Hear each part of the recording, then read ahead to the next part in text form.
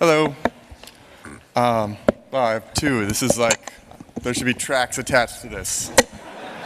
Um, so, uh, first of all, I want to start off, and I was here last year, and I think I only made it through my talk.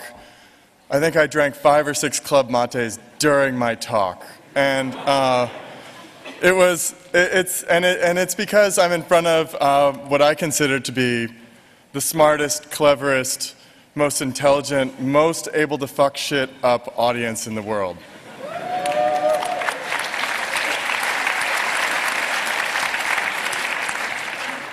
and I like you. So um, I'm going to be talking about prototyping stuff, and a little disclaimer. Mostly I'm making all this stuff up. So um, I do not propose to be any sort of expert on really anything. And so I'm sure some of the things I talk about, um, most of you are going to, or some of you, if not a lot of you, are going to know a lot about. Hopefully I can make it interesting enough that, um, that it's interesting. Okay, so right now we have a kind of interesting situation. We're, when we want something, um, we, we generally buy it from some corporation that's manufacturing it. Uh, but um, it's just about time for a little bit, something a little bit different. Um, uh, just, I'm just kind of curious, how many of you in the audience either create, uh, create code or create objects and that's create, that, how many of you create something in your life on a regular basis, just out of curiosity? Okay. How many of you create physical objects by yourself? Okay. Awesome. So this is a talk for you. Um, so right now, let's say I want a clock. And the way it works is I go, you know, I want a clock because I should really be on time for something. And uh, so I'm going to do some shopping. For me, I like to shop on the internet. I go, okay, let me get it. I found this cool clock. I'm sure it's made by a Scandinavian. And um, I go and I try and find the coolest manufactured clock in the world, and I buy it. I actually uh, don't own a clock, so. Uh, there's an alternative reality, though, uh, that, I'm kind of excited about. This is my friend Justin Day's binary clock. When we first started NYC Resistor, before it really existed, we would go out and drink. And we started talking about how cool it would be to have a binary clock. And Justin sort of held this together in his mind, and six months later was like, finally, I'm going to do it. And he pulled together in Arduino a bunch of LEDs and had all sorts of problems trying to figure out how to actually make it work. But finally, it worked, and he made this this binary clock, and really he's the only one who can read it. this is a little bit of a different experience than getting something from Scandinavia. Um, so I, as, when I was preparing this talk, I was thinking about like, okay, what was the last thing I made? I made a robot for Roboexotica. And then what was the last thing I bought from somebody who made it? To make that robot, I actually bought a Twitchy kit from Raphael who creates these, uh, an Arduino platform that's optimized for servos. And then I started thinking about what do I buy secondhand? I'm kind of in a state right now where basically I'm, I only buy food and stuff for projects, so I haven't really bought anything secondhand recently, but I've been staying with a friend who's obsessively good at obtaining really cool stuff for free, usually because people throw it out. And, uh, and a lot of us already do this in some way or another, whether it's through Craigslist or eBay, or maybe you make things and sell them on your own site, or you go to flea markets regularly. This is all kind of like, this is all subvert, all this stuff really basically is subverting a corporate, like, consumerist fueled, centralized manufacturing paradigm. That's, okay, I won't use say that again. Um, but the idea is like instead of, instead of going from the center out, we're like going across. I'm almost, I'm, I'm near, I, like, I know there's cool stuff that I want every single year, but for the most part, I'm pretty confident that there's enough tables and chairs in the world to last me whenever I move into a new apartment that I don't need to go and buy a new table or chair. And it'll probably, if I get it from somebody else and it's lasted 60 years, it'll probably be what I want. It'll probably last a lot longer, I mean. Okay. So I was thinking, like, what would it be like if we actually had to rapid prototype everything right away? And I started imagining, like, what would it like if, be like if I was like on one of these these shows where you're on an island and you have to make up everything. And I was thinking, that would be pretty cool. You'd have to do the whole, figure out the water thing. I, I, I, I would really probably enjoy that. And then I thought, well, what if instead of having to be on an island, we just did that anyway? And I really like this idea. And I'm, I think it would be really fun. So, um, so I don't know what I was thinking here. Okay. So, oh, I know what I was thinking. So, um,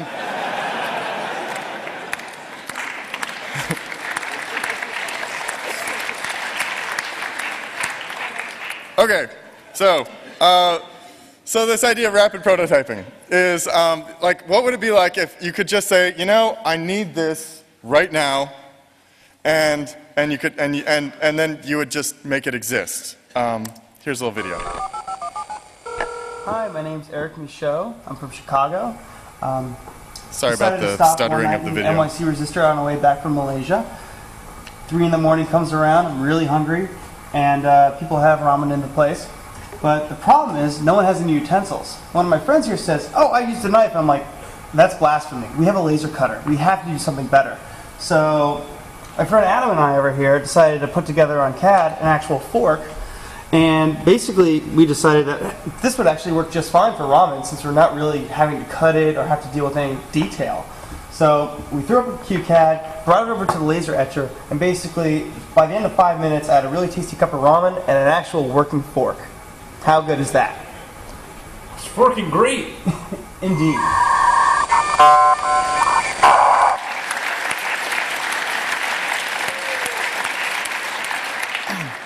So I really like this idea of being able to just be like, I need something. And then it exists. So this idea of like making whatever it is you need when you need it and doing it in your space is really different from this dominant corporate manufacturing model. And it's also really different from another model which a lot of people talk about with this idea of fab labs. Fab labs, for those of you who don't know, this is kind of popularized by the, um, the folks at MIT and they make these little boxes that have all these really all this fancy equipment in it. And then usually they send it to sort of uh, underprivileged areas where they kind of hope that they get utilized and sometimes they do. And it's a place where people would go to have something prototyped. And um, i really don't want these machines in boxes that people have to go to. I really want them like in people's living rooms or in people's hacker spaces or places where people go regularly and they're just there so that when you need something they exist. Okay.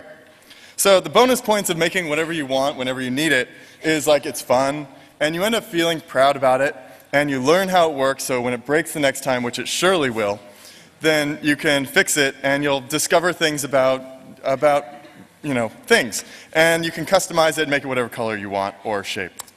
And the other bonus points is you could then sell it or uh, if you could put it on, you could share it with the internet and people might make it, maybe, and, uh, and if so, they might make it better when they do it. And uh, it's interesting, a lot of people, when they think about this without having done it, they think, oh, I don't want to let my thing go, somebody might copy me. But it turns out, if once you've done it and you've seen your idea out there on the internet and you've seen somebody else made it, it's like having, I mean, I'm sure it's not actually like having a baby, but it's really, it's, it's, it's this real sense of, of, of pride in seeing your thing out there in the world. So, uh, I like this word digital design. I like this better than Fab Lab. I like this better than a lot of words. And in many ways, rapid prototyping, the, really you can rapid prototype anything if you have a big enough hammer, I guess. But um, what I'm mostly talking about is this idea of digital design. Creating, you imagine something in your head, you somehow transport it onto, um, in, into a digital format, and then, and then you make it. And then it's made for you or you make it. So there's this whole process of like design to object. And this is where, if you're getting into digital design or rapid prototyping, a lot of people get bogged down here. You've got Inkscape, QCAD, Illustrator, Rhino, Art of Illusion, or Corel Draw. And if you've used any of these, you know that they're really unpleasant until you know how to use them. And strangely enough, no matter what you use, as soon as you are an expert at it, it's the absolutely best thing and all of the rest suck. Um, you can kind of get around this if you have, if, if, um, if you are smart. And you can have a magic wand and you can make a design go from your head to a digital file. My friend Jared does this. He loves to play with uh, Flash. He's a Flash obsessionist. And so he takes, um, uh, he takes like algorithms, which he thinks are pretty, and then sees if they're pretty in the real world. And then he makes things like he takes his laser cutter and throws stone in it and, and, and makes designs like this, where he didn't draw any of this. This is all some sort of data of some sort. I don't know what it is. but it's pretty. Okay, so um, how much, what, uh, what is my, let's, let me look at time. Oh yeah, I'm doing just fine. Let's give you a quick Inkscape, tu- Inkscape tutorial. Now, many of you I'm sure know how to do this. For many of you, this is going to be boring. For some of you, this is going to be, this is a way to get, to see how easy it is to get into digital design. And um, uh, I'm just going to show you this real quickly because I, I've, I've been teaching laser uh, design classes at NYC Resistor. And it turns out, so what I usually do, what I did before the holidays is I, I, said, oh, it's a Christmas or holiday ornament class. And you come and you make a holiday ornament. Well, everybody came, and I said, okay, quickly make a little tree, a little shape. And um, okay, if you want to do this, you can go ahead and laser cut it out. Or if you have an idea in your head and you want to be ambitious and use your 12 inches by 12 inches of, of acrylic in some creative way, go for it. I'll stay here as long as it takes. And it turns out that this most that when you throw down something like that, it turns out everybody has to do something. Nobody made an ornament. And in one case, there was a, a, a, a Mike G. He went ahead and we were there until 6 a.m. And then we fell, both fell asleep on the couches. And then we woke up and he worked on, he made a really cool model of a working model of a lock out of clear acrylic. So, okay, I'm going to now attempt to do a little tutorial in Inkscape and it looks really normal up there, but up here, over, it's really wide, so bear with me here. Oh, now I'm starting it up. Uh, Inkscape is, for those of you who haven't used it, it's a vector design program. Uh, commercial options would be Adobe Illustrator. oh, interesting. Those aren't the robots you're looking for. Okay, so when you open it up, you get something like this. And this is approximately the, sheet of, uh, the size of a sheet of paper. So we want this to look like the inside of a laser cutter. So let's go ahead and pull up the properties, and we're going to make the width. Oh, first we have to change this to inches. Yeah, we're still imperial. I know.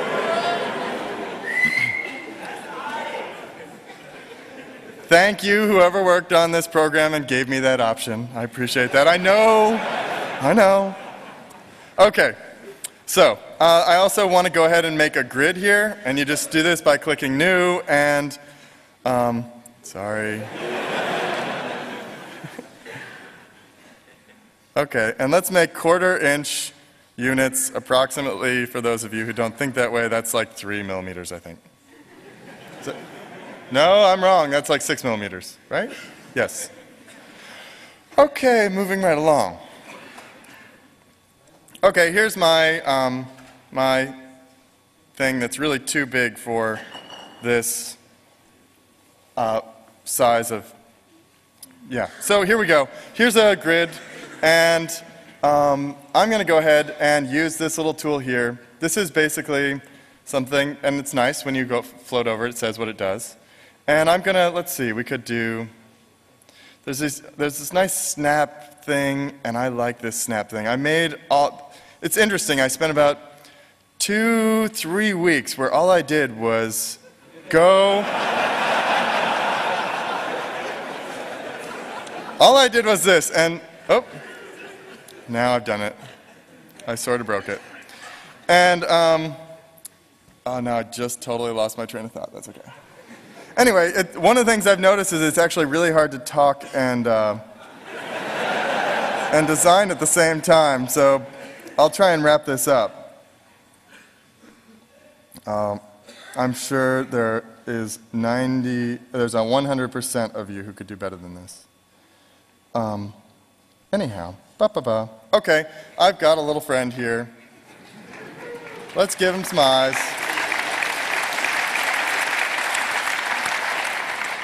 I so don't deserve that, but I appreciate it anyway. Okay, um, there's a. Let's see if I can fix it. Oh my gosh.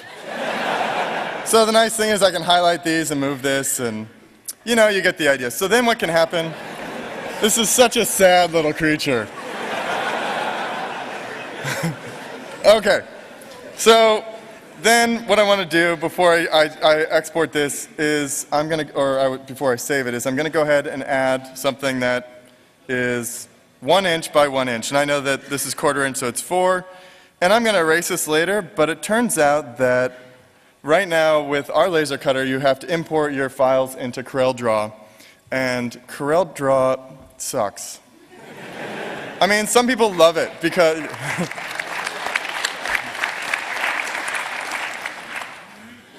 because they get used to it and it's their, it's, they understand it. But I, I really don't understand them.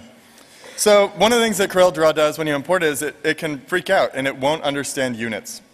And it'll, it'll have the right perspective of everything, but it will be like each unit is one mile instead of a quarter inch or something like that. So uh, you usually have to resize it, and it turns out it's a lot easier to resize it if you have like a square unit that then you can make a grid like we've got here and then resize it. And then uh, you save it, and it'll save as an SVG, which is a really, I like that file format. You can save it as other things. Inkscape's really flexible. I like it. Okay, let's stop this. You get the idea. Okay, I'll draw it, save it. Okay, where's my presentation? Okay. No, that's not it. Ah. okay. Yay. Okay. I can, yes. From four to three? Oh, okay. Let's see if I can do that. Um, would you like to come up and do that while I'm? Okay.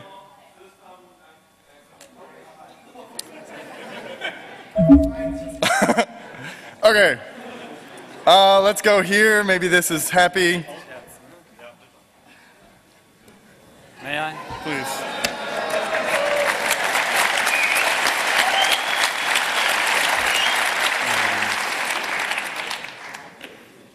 But but you continue talking, right? Okay.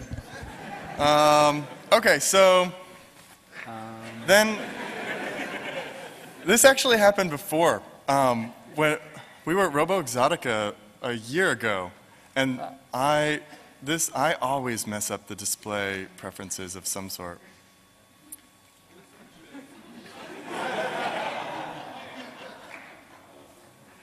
Here we go. Okay. So um, Okay. Thank you, Tim.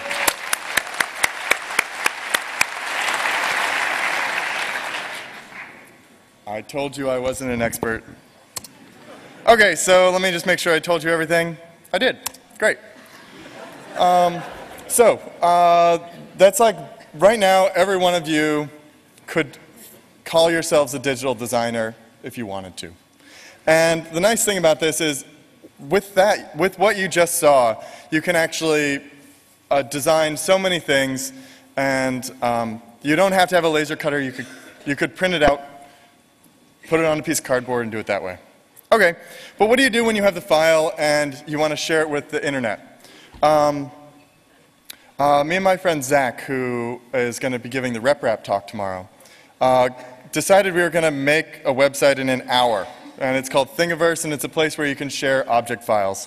And um, really, he's the person who's good at making websites, and so it's actually quite nice. And it's a place where if I thought that character was worth anything and I wanted to share it with the world, I would upload it there, and then anybody could download it and make it if they wanted to. I'm not going to do that with that particular one, but I've done, I've done that. I have lots of, all my designs go up there, and you can all do whatever you want with them. Okay, look, a monkey. Um, so this is a little story that I like that I I, I think I started to tell the story. I don't know how far I got. So I decided I was going to make, with what you just saw, I was like, I basically did that for like two weeks where I made these characters. And this is my first one. I made a monkey.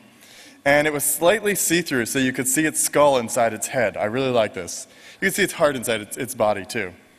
And um, I made a little comic that showed people how to make it. And I, I laser cut about 50 of them, thinking that the whole world would just really want this, and people who collected those little miniatures would buy these up and collect them. I sold two. Sometimes the world doesn't want what you offer, and that's okay. Uh, but the nice thing is, is I went to sleep, I made it, I, I published it, and I woke up in the morning, and my friend Martin, who's of laserandlasern.de, he has a laser here in town. He had seen the thing, and even though I hadn't published the design yet, because I just published it before collapsing, he reverse engineered it and then made it better, and then took a much better picture than I had. And this is one of those times where you make something and you share it with the internet and it gets better. Um, I really like this. So uh, let's move on and talk a little bit about rapid prototyping history. Da, da, da. Uh, so this is a really wonderful old school CNC. It's not CNC, it's an NC mill. And this is actually currently in the Vienna Technical Museum, which is a really fun place. I'm also looking forward to going to the Technical Museum here, which I hear is pretty awesome.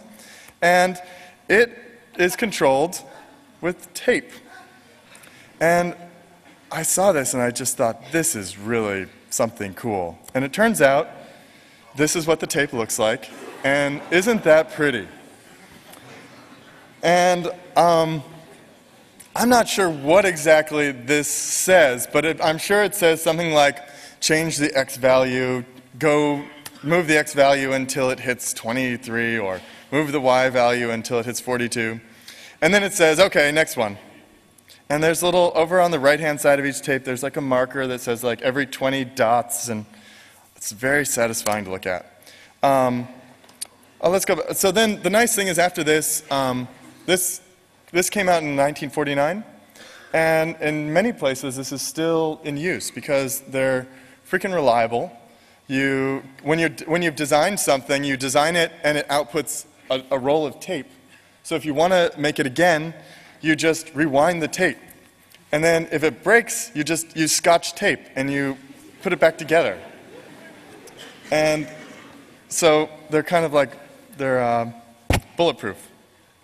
Okay, so what, this is that kind of thing, and big machines, uh, in many ways, are out of the reach of individuals. So, of course, you have to do it yourself. Hi, I'm Marius. And I'm Philip, and we're from the RepRap research team at MetaLab in Vienna, Austria. Here you can see a RepRap ShotBot, which is a robot that prints out shot glasses. This, this RepRap was developed by Guy Pettis and a team of hackers here at the MetaLab last year for the Cocktail Robot Festival Roboexotica. It failed and it burned. We replaced most of the electronics and we fixed the new extruder, and now it prints perfectly again. Now it's pre-printing a shot glass to toast its own birth. Here we have a temperature sensor and we have a heating element and it just heats and the plastic it gets squished, it gets pressed down here by the screw and so yeah, it's melted here and then extruded in thin filament. Love the, I love the melting, um, yeah.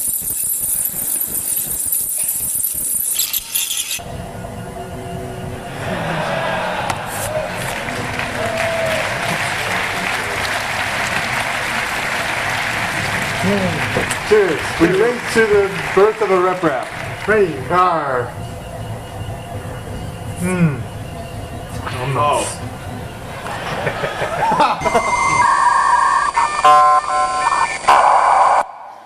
Drinking, a very important part of robotics.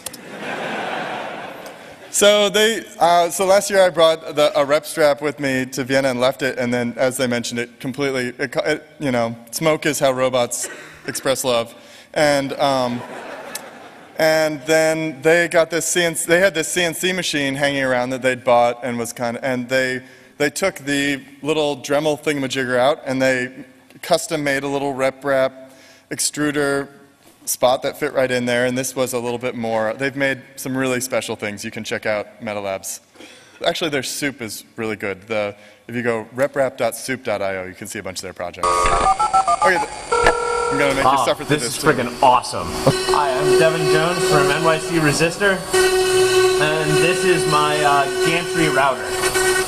This is a computer-controlled uh, Dremel that can uh, carve into wood, um, uh, foam, acrylic, whatever, to be able to carve out designs as you make them on a, uh, uh, draw them in a CAD program, and then you can carve them out uh, to do really carve out whatever you want.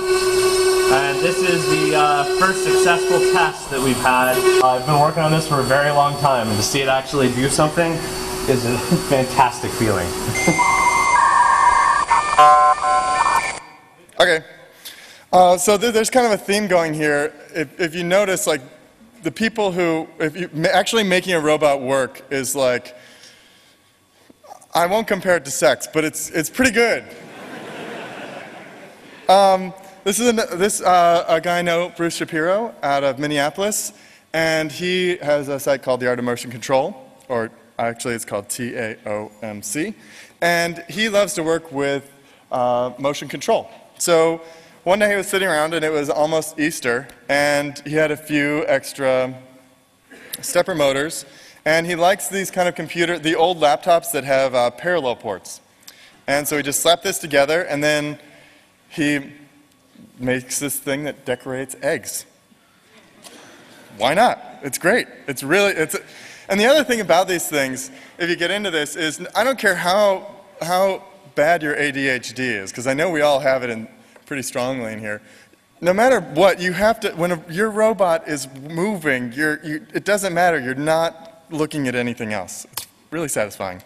I had the same experience with uh, Drawbot that I made with some friends at HackerBot Labs. This is one of those times, this is kind of my first uh, project like this where I was like, let's make a drawing robot that takes your picture and then draws it. And, I, and then I have no idea how to do this. So um, I ended up getting some friends involved, and five pizzas and five cases of Mountain Dew later, this exists. Uh, the Evil Mad Scientist Laboratories are this uh, great family in San Francisco, and they decided they wanted a rapid prototyping machine that didn't cost a lot, and they decided to work with sugar. So this thing is a, uh, if you've ever worked with a soldering rework station, it's a hot air blower and an XY platform, and then every time they want to add a new level, they, they actually have to pour sugar and scrape it across, and then they, they fuse that part on, and, it- and uh, it tastes good. Yeah.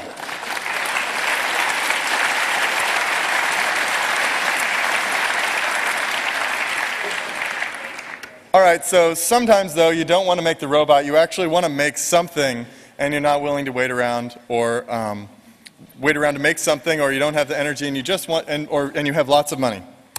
So uh, luckily the first one is, is you don't need money, you can use a printer. And um, uh, I did a project with my friend Allison Kudla and it was almost Thanksgiving and we used Blender, really great. Is there, are there Blender people in here? They need a round of applause. That's an awesome program.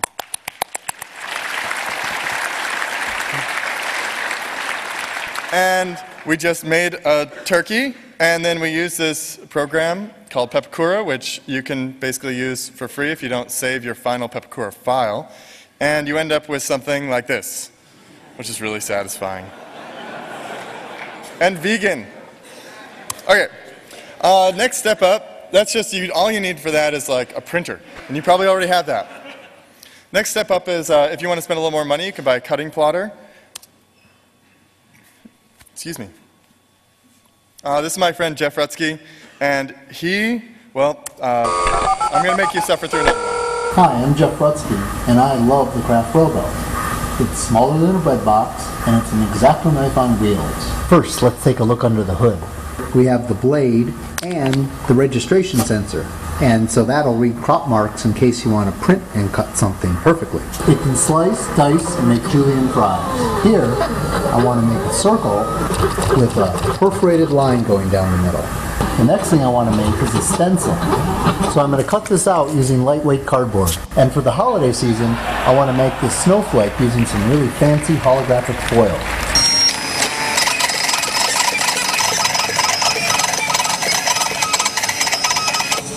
It sparkles.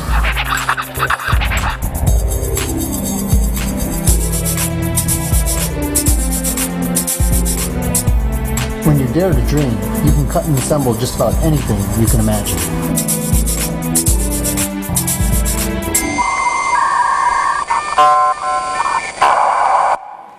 Okay.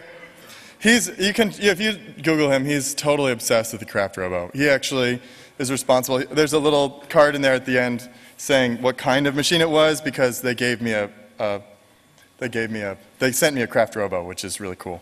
Oh. Oh. Ah.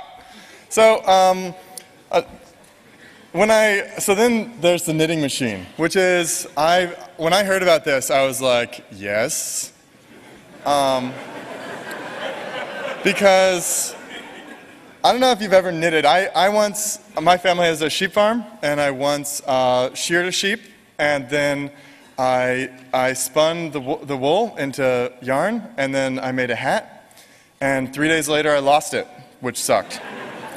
And so when I heard about the knitting machine, I was like, wait, there's a knitting machine?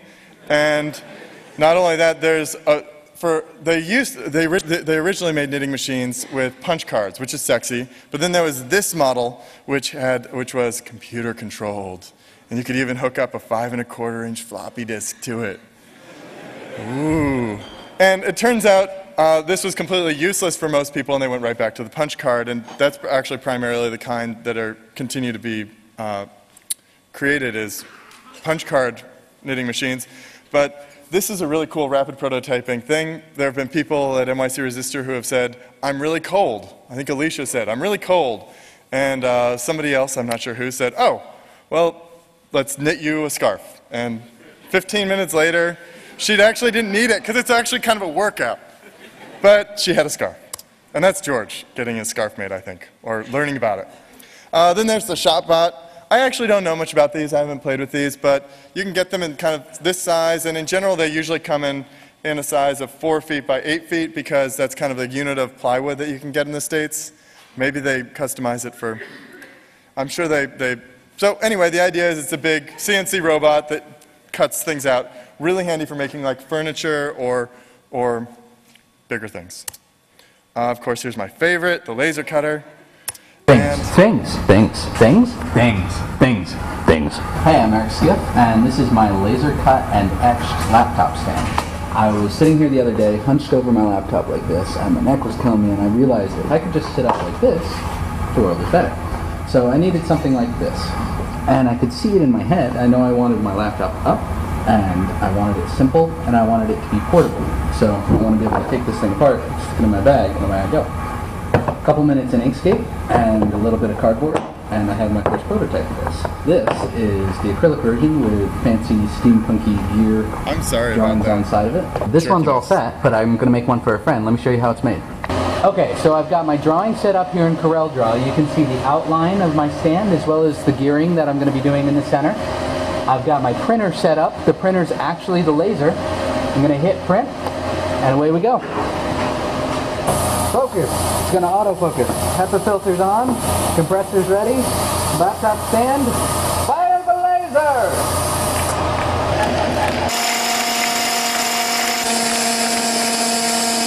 Okay, so it's all done cutting and etching. We're now going to take these pieces, put them together, and we've got a laptop stand. Bridge. One arm. Arm. No more neck pain, no more straining. Now I can sit up. It's an awesome thing.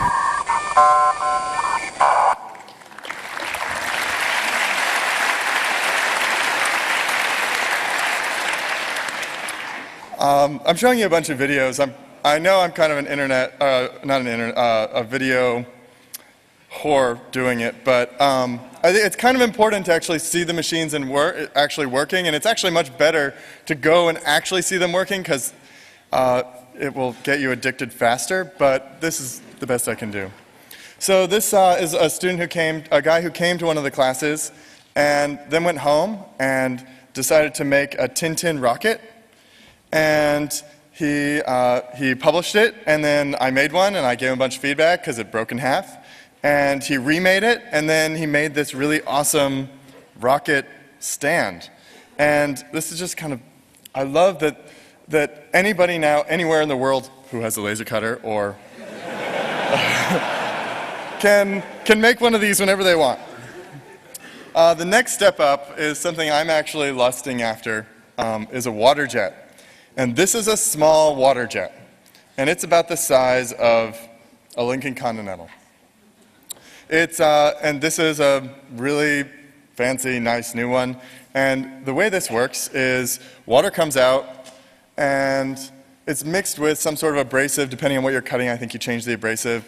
And it comes out really fast. It, uh, your shower comes out at about 70 psi if you're lucky. And a water jet comes out at 60,000 psi, which I think breaks the speed of sound, right? And uh, then um, and it will go through anything, uh, titanium, whatever you want. And it's, yeah, I want one. I don't know what I'd make with it yet, but I want to make, I want to cut something hard to cut. Uh, nervous system uses these. They're um, a couple out of Boston, and on the left is a set of a silicon bracelet, and, and then on the right is a, a pendant, and they take, um, they, what they do is they like to make algorithms that like, uh, look like things in the natural world. So this one on the right looks like a dendrite formation. I really don't know what that means, but uh, they run it, and then you can see there's different shapes, different kinds come out every time, and then they take those designs and they actually, I believe, they sneak into MIT and use their, their water jet and then sell them. Um, yeah, I like, I think they're pretty. So then we move into 3D printer land where you can buy. I already talked about the RepRap, and um, if you want, this is kind of an object of lust, the object. This is, uh, it really looks, you can't really tell how big it is, but it's probably about this big. I really don't know exactly how big it is. It's probably about this big. And it's pretty. And um, there's a guy, I looked on the internet, and there's a guy who um, has one of these, and he carries this little skull around because he likes to just take it out and show it to people because as soon as people hold it, they immediately want him to make things for them. And uh, it's, it's, it's a 3D printer that has really smooth, really smooth, you can see it's kind of shiny. Yeah. Uh, Bathsheba Grossman, I actually did a video about her, but it was back before I knew anything about compression, and it looks really I need to read, compress, compress it. She does this really awesome thing where she uh, goes into her studio and she creates, um, she uses clay and she comes up with things that look like math and she actually insists they're art, but basically the idea is she takes these sculptures and then she actually, she makes them and then she actually, then she goes into the 3D uh, software and tries to, re- and recreates them in the 3D software. And then she takes them someplace and it's actually on her website where she takes it, so you could do this too. And they do this thing where they have a 3D printer.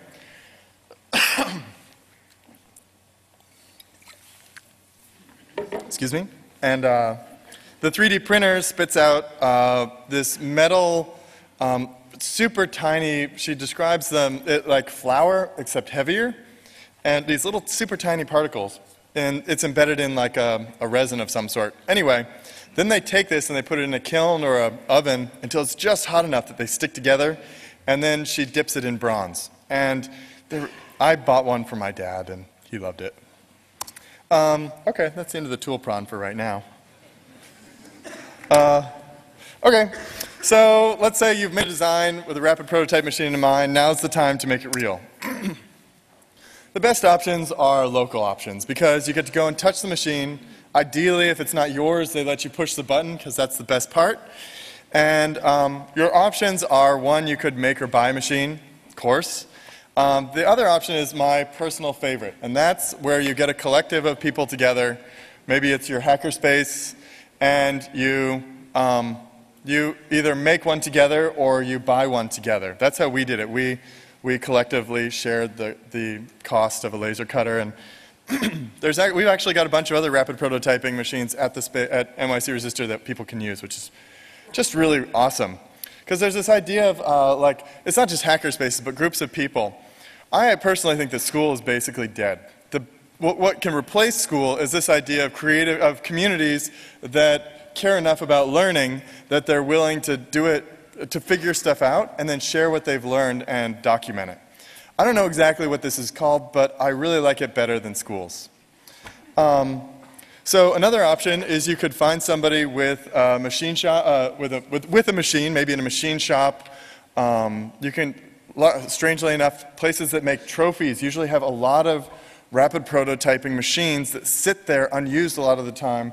And a lot of the time they won't even know what to charge you if you go in there and you say, I want to make this thing.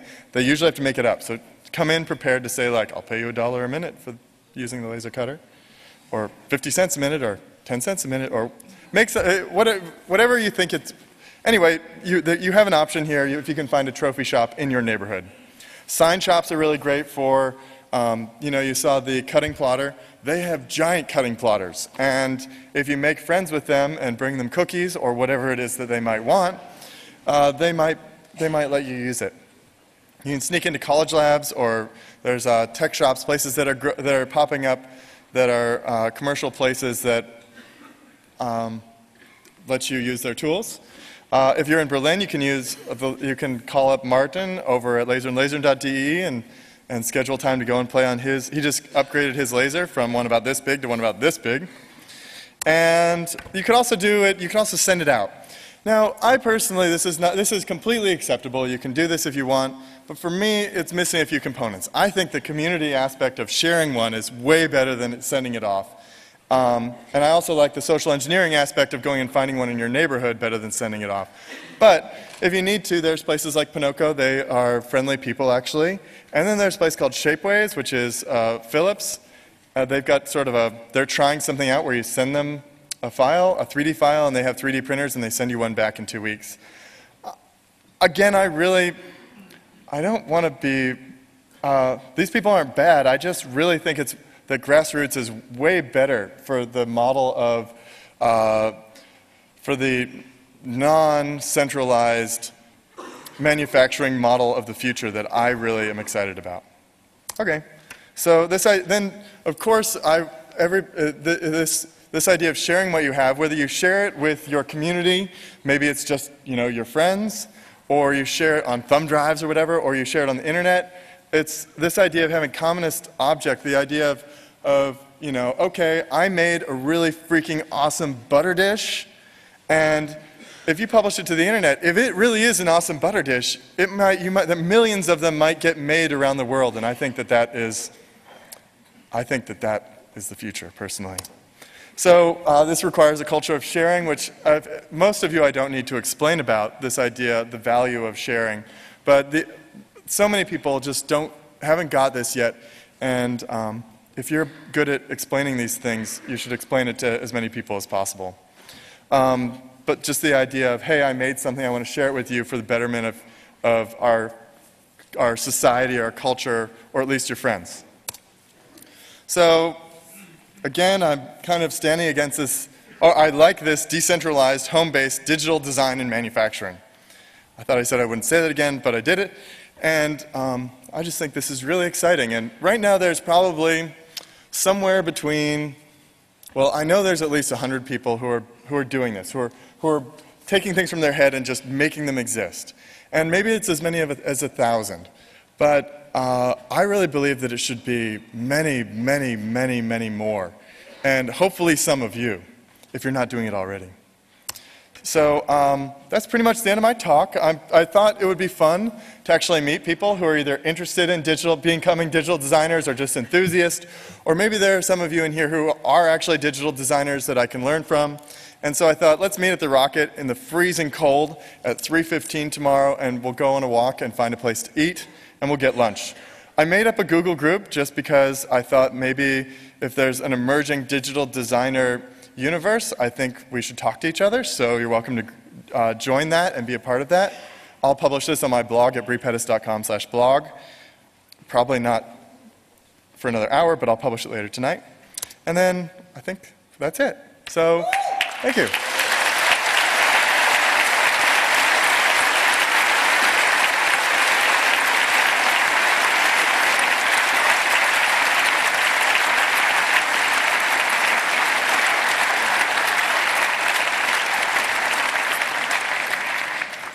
So if you have questions, you can come up to the mic, and I'll do my best to answer them. Or uh, if there are no questions, we'll, we'll. Uh, oh wait, I'm, I'm, yeah, about 15 minutes left. So either we'll have 15 minutes to relax, or we'll have some questions. Hello. Oh yes. Uh, you talk about the design, that's okay. Uh, you don't talk about uh, controlling of the machine, but there are a nice project out there. It's calling EMC. Can you repeat the name of the project? Uh, EMC. EMC. Yeah. But uh, if you need, in, in the workflow, there is a, the step in between when you have the design and you have to produce your machine controlling code. And uh, I have a machine and I have a solution for that, but this is every time a hard part. It and, is. Uh, are there some other projects you can point on for the step from the design to make the machine code? Um, I will, I will start off by saying I am not an expert at turning the design into the actual like G code or whatever it takes to actually make your, your, your machine do what you want it to do. But I know there's, um, I know my friend Zach is working on Replicator G, and it sounds like you had, you you had uh, uh, the three letters that you said. And um, it's definitely an issue that's, because so much of this is still rooted in like, CAD software from the 80s. So you're exactly right. It is an issue if you're making your own stuff. And there needs to be more, I would really love it if there was more standardized ways of making this happen. And I think it's just going to be a battle for the next, until either something emerges that's dominant or more communities pop up and they can agree on things and develop things that are awesome. Thank you. Uh, guys, uh, if we could try to keep discussions down so that people can hear the answer to the question, that'd be appreciated. Just, just try to keep it quiet. Thank you. I, hi, I was here, right Ah, here. Hello. Um, could you perhaps repeat your motivation for all this? Um, I, don't, I don't get it. What, what's your motivation? Do you just do it for fun or because you can do it? Why do you do it? I, Why? It's clear. It, it seems to be fun. I'd love to do that. But what's your motivation? Uh, the question was, why would I want a rapid prototype? Why would I want to do this? Why would I want to build machines? Why would I want to make things my, make, rap, make machines that help me rapid prototype things? And I think for each person who does this, there's probably a slightly different answer. For me, I get this. It really started when I was a kid and I fixed bikes. And when I fixed a bike and it hadn't worked and it worked, I got this uh, elation feeling, not so different from like drugs, frankly. And um, I, I remembered that. And I actually forgot about it until I was much older and I, and I, and I made something and had that same feeling where I, I'd made something. And then for me, I've just kept going. I've found that kind I've, I've been like, okay, I like this. I know it. I'm going to keep going. And I can say it will surprise you how absolutely satisfying and the feelings you get from it if you create, especially for a lot of you who, um, who do software.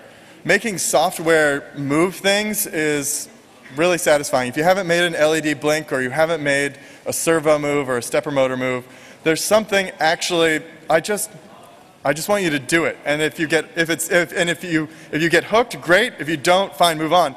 But there's something, uh, for me, there's something really special about it. And then there's the added bonus of being subversive to the dominant consumer centralized manufacturing paradigm that kind of gets me off. Okay, hi. Um, I somehow, uh, like you do, really like doing things by myself, making things, uh, but I find myself always in a field where you showed, uh, the examples you showed, they're either uh, very, very simple, like those uh, flat shapes you can laser cut and stick together after it, like the laptop stand, Yeah. or super complex, like those those Nick Nick machines and whatever. Um, but I find myself always in a field somewhere in the middle. Uh, well mechani- mechanical objects that are not easy to make in 2D and stick it together. Like, um, well, this is the point where I'm missing a really, really good example. Uh, currently, I'm, I'm into uh, trying to build a coffee roaster. And uh, well, it's, it's stuff where you, uh, if you don't have access to really, really massive machinery, and you're well, put it that way, and you're not a, a genius with, uh, in, in, in, in, making things by your bare hands, you've just lost. At least it, to me it seems like that. Uh, I, for, for those in between objects to make them, I can't find a really satisfying solution how to do that. Yeah, I mean, I think uh, from what I'm, what I'm hearing you saying is that you're, you're kind of in an in-between state of, of things that you like to make and things that are simple and things that are really difficult. And um, uh, we can talk person to person later, but I think probably one of the things that would be good is uh, getting help. The best projects I've had are the ones that I take on really hard projects that I don't know how to do, and then it's my favorite form of collaboration. It's absolute desperation. And um, and so that's all I can suggest for right now. Um, hi. Here in the middle. Uh, middle. Hello. Hi. Um, you were talking about how it's a lot of fun to create something, especially if you create it with uh, other people together. And I think everybody who has ever done something can understand that and has had that feeling. But do you really think that this is a model that can, you know, replace the the economy that we have nowadays? You know, like we have the big vendors who create a million of item X and sell it to you. Do you really think that what you just proposed is able to replace that model, or can you just produce your? There are people who produce pieces of art or pretty things, or you know, those nifty little gimmicks that you can use, like a laptop stand, but who would produce you know bags to carry your trash around? I mean that's not interesting in, in a way that that building your own laptop stand is interesting. So do you think that that your model is really out to replace the old model that we knew? Okay so uh, the question was is this model of, of decentralized cottage industry style manufacturing actually is it appropriate? And i think um, I can't definitively say that now is the time to uh, to do that. Now that it this model will be successful, but I will say that like if there ever was a time, I mean, with the way the economy is going and the way so much of it is sort of topping over, if there is a time to try it out, it's clearly now or soon. And it, it wouldn't be a bad idea to put your hand in it now even just as a hand in it. So later on, if, if you, you know, I, I when I was a, I took shop when I was in uh, middle school. And my teacher basically said, listen, I know a lot of you are going to just be in this classroom and then you're going to move on. But for some of you, you're going to lose your job, and I want to make sure that you can make little toy trucks so that when you lose your job, you can make little toy trucks and sell them. And I haven't made little toy trucks, but I have to say I really appreciate his like where he's coming from, and I and I so I, I even if you don't make this your life, if I, I would suggest thinking about it and thinking what kind of value you can add, and what maybe next time you buy something, think about well maybe I could make that, and even if you don't make it because you realize it would take too much time or be too much of a pain in the ass or you don't have the infrastructure to make it, that at least considering it, considering it as I think kind of putting it in to the possibility of your skill set. Uh, yes, next. Um, could, could, could you do a daydream for me? Could you tell me what machine you're going to buy in 10 years? Ooh. I have a few, I have a, this date, I have this, this is a stupid machine. But I would really like to make a machine that goes on top of a roof and uses this, uh, it's totally toxic. This is really a bad idea. But, um, but have you ever used this stuff that's like insulation foam that you put like in your walls or something like this? I want to make a machine that will make, that will extrude, that will just, you'll, I'll probably just have to get like a hundred of these cans and just keep filling it. But it would make a giant sphere like six meters tall on the top of a roof. And then when it's done, I want to push it off the roof and have it and have it explode in the bottom, and then I wanted to make another one.